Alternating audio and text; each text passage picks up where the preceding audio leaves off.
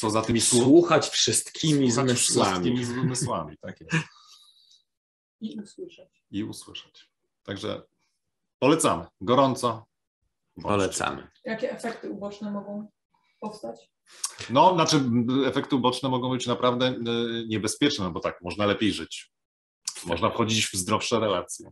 Można budować zdrowsze relacje. Można coś zmienić w swoim życiu i siebie zrozumieć wreszcie. Ojej, no w ogóle- Odkryć, czego chcemy, czego nie No, chcemy. no, no. No, znamy przykłady, głos z OFU rzucił pracę z powodu prowokatywności, także I poszedł w jakimś kierunku, gdzie ma na przykład lepszą pracę, I- na przykład szczęśliwsze życie, no to są, bardzo, bardzo niebezpieczne sprawy. szczęśliwsze Więc życie. e, na własną odpowiedzialność, no bo może się coś zmienić. Więc jeżeli byście chcieli nadal tkwić w swoim problemie, w swoim cierpieniu, w swoim lęku przed pracą z ludźmi, w tym, że nie dajecie rady, że nie macie pomysłów, że ludzie są okropni, a wy musicie tak ciężko pracować i wkuwać schematy, nie przychodźcie. Tu Zostańcie tego w nie będzie. Zostańcie w domu.